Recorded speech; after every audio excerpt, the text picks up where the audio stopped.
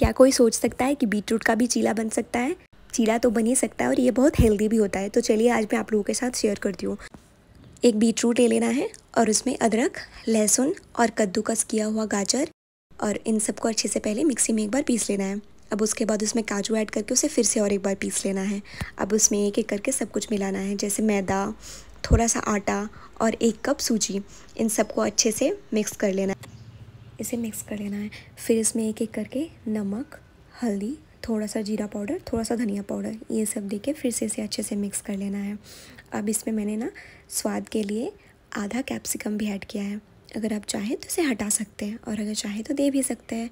और मैंने ना चीला बनाने के लिए ऑलिव ऑयल का यूज़ किया है। आप लोग जो घर में ऑयल यूज़ करते हैं वो दे सकते हैं।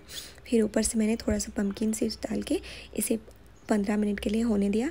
फिर ये मस्त एकदम एक चीला बन के रेडी हो जाता है। आप लोग इसे एक बार घर में ज़रूर ट्राई करें, ये बहुत टेस्टी लगता है खाने में। Bye bye